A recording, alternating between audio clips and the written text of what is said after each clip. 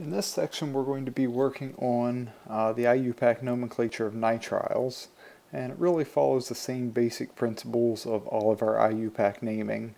Um, we'll find our parent, uh, number it, number and identify our substituents, and assemble our name. Now one thing to take note of that's a little different uh, than many of the functional groups that we name. Um, in many cases we would drop the E ending from the corresponding alkane and add some suffix to that. But in the case of nitriles, we'll actually name the alkane and follow it with the term nitrile. So if it's a six carbon parent, it would be hexane nitrile. Alright, so we'll look at some different examples here. Um, we'll start pretty simple um, with our first example.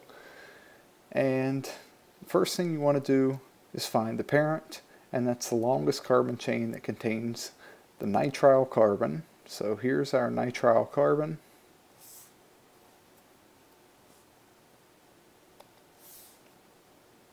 And if we go out our chain, we can highlight it. The next thing we'll do is number our chain. And this carbon that's part of the nitrile is carbon 1. And we'll just number out our chain. So in this case we have a six carbon parent chain. Alright, so now we name it as an alkane nitrile. So here we have six carbons, that comes from hexane. So our parent name is hexane nitrile.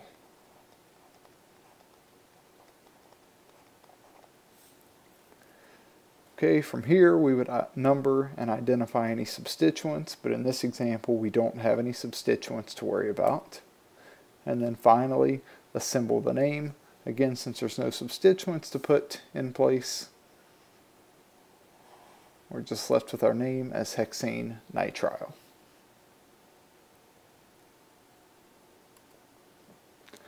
Okay, our second example is a little more complex, and this time I um, instead of drawing out the nitrile functional group, I just abbreviated it as a CN.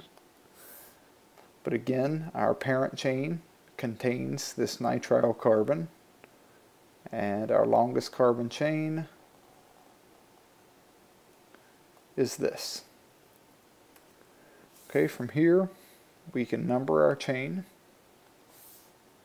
Nitrile carbons 1, we end up with a five carbon chain. We'll name this parent as an alkane nitrile, five carbons is pentane.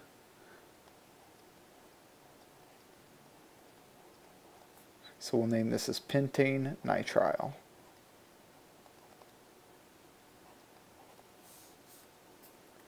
Next step, we'll number and identify any substituents. And now we do have a couple of substituents. On carbon 2 we have an ethyl group. And on carbon 3 we have a hydroxy group.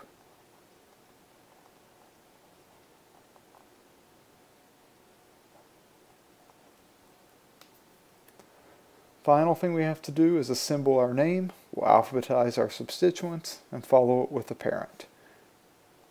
Comparing E and H, E comes first. So we'll do 2 ethyl,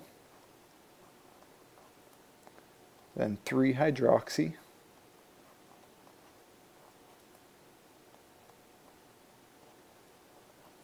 and then our parent, we write that in, and it's pentane nitrile.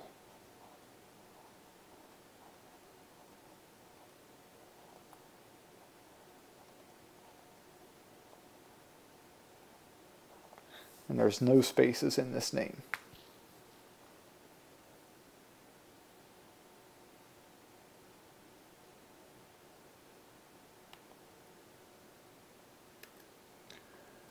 Now our third example contains a ring, so we had to treat this a little differently and thinking about the same way we did carboxylic acids attached to a ring, we named the ring and followed that name by carboxylic acid. So in this case, we'll name our ring and follow it by the term carbonitrile. And that's what this is represented.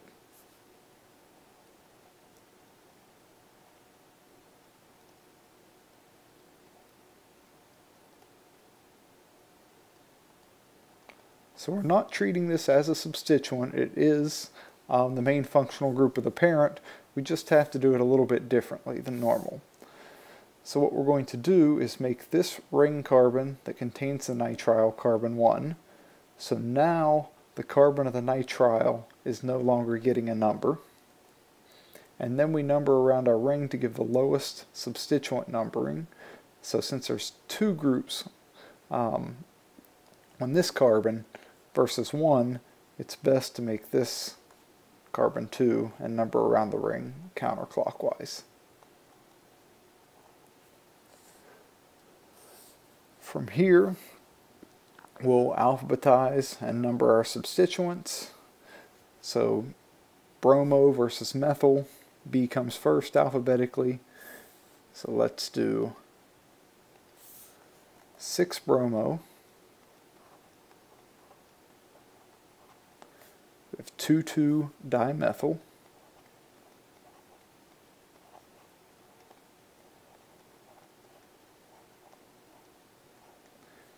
And we're going to name this as cyclohexane.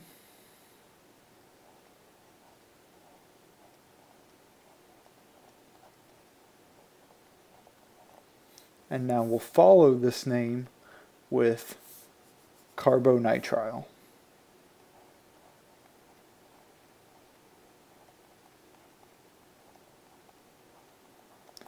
And this carbo term really represents the fact that um, the carbon of the nitrile isn't counted in with the carbon count in the parent. So that's how we name it when the nitrile is on a ring.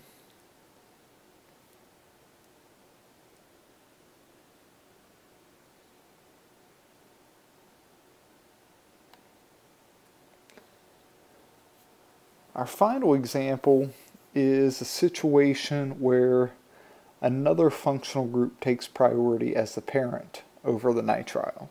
So in this case we have a carboxylic acid and the nitrile and a carboxylic acid is a higher priority functional group. So it actually um, gets the parent priority. So our longest carbon chain is going to be this. From here, we'll go ahead and number our chain.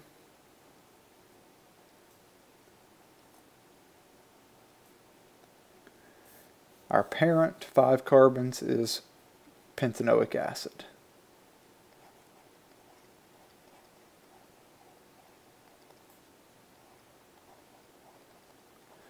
Since now the nitrile isn't part of the parent, we treat it as just a substituent and we call it a cyano substituent.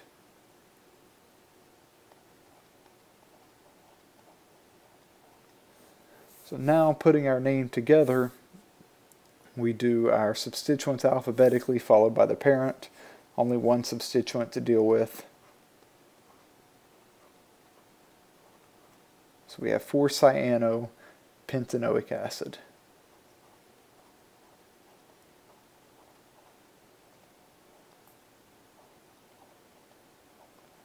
So these cases will cover um, most of the common nitriles uh, that you run into and how to do the IUPAC names for those.